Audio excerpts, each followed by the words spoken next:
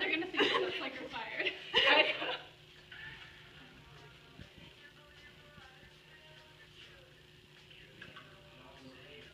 that a?